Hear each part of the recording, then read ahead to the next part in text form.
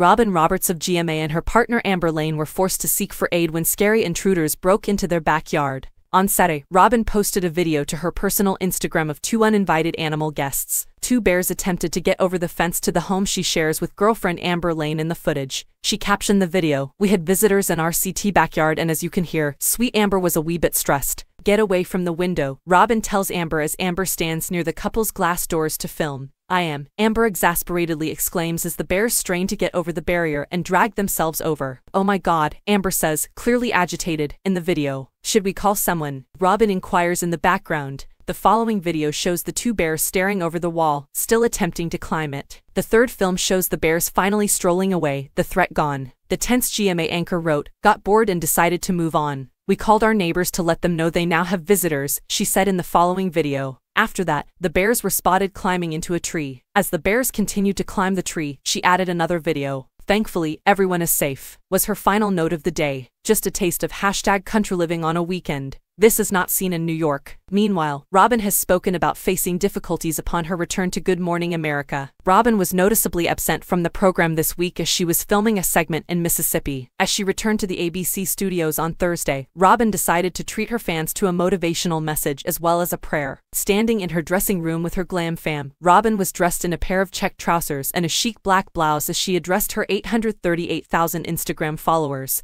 Good morning. Take 3. Yes, it is one of those mornings. Robin began. We had a travel day back from Mississippi and we were so happy to be there in Rolling Fork. And thank you our viewers for how you have responded. And here we go with the morning message and prayer. Robin continued. We all face difficulties that don't look like they're ever going to change. It may seem that their size and it's not improving, so it's easy to live discouraged and accept that it's going to take years to get well, years to get out of debt, or years to meet the right person. But don't be fooled by what you see because the trouble is only temporary, the problem will be over. She added, soon you're gonna see breakthroughs, soon you're going to see freedom, promotion, Problems suddenly resolved, dreams suddenly come to pass. As we like to say, get ready for your suddenly, Robin told her fans before she read out a short prayer. Robin's fans were delighted to see her delivering her daily message and took to the comment section to share their thoughts. Wow, I didn't think you'd be here today. How blessed we are. Thank you for this message. I receive and claim this message. I just stand in gratefulness. Thank you Robin and the team. Be well and stay safe, one wrote. Another said, Morning at Robin Roberts, glad you are back and a third person commented, Good morning, great job.